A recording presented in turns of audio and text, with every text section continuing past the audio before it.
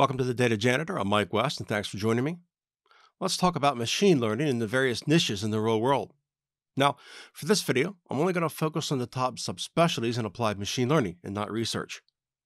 The word applied here means the real world. Let's check out this diagram. The diagram is often referred to as the AI hierarchy.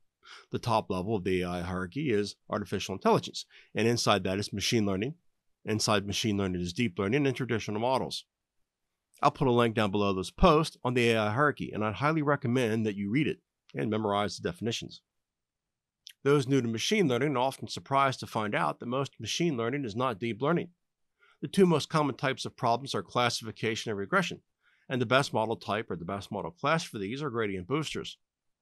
That means that most applied machine learning is done with traditional models. The number I've seen is somewhere around 90% of all applied machine learning is done via traditional models.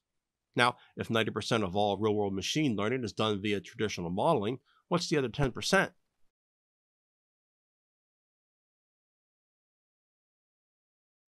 NLP stands for Natural Language Processing. Natural Language Processing, or NLP for short, is broadly defined as the automatic manipulation of natural language, like speech or text, by software. The top model class for NLP and computer vision problems are deep learning models. Honestly, I don't know the breakdown between these two. From what I can tell, they appear to be equalish.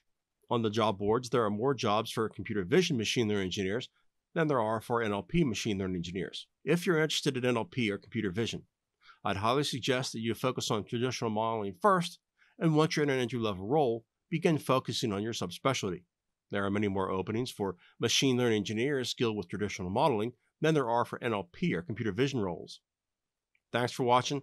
Don't forget to like and sub and have a great day. We'll see you soon.